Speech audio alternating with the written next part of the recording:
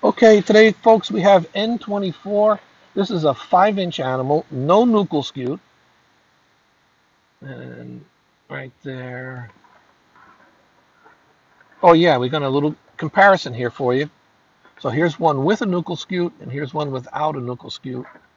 There, you can see the one on the left has a little bit of a notch as well, and that nuchal scute here is what I'm talking about. You see it looks like a little bow tie there, and then over here, he does not have that little scute in the middle. That's only about 1% of Aldabras actually have that. We happen to have a lot in this particular group. There's probably a female there just turning these ones out. So N24, the other thing I want to note about this guy, he's wide. Some come to a peak, but let's you know, just keep turning him. You'll see what I'm saying. Look how wide he is. He's wide. That's really neat. Nice and smooth.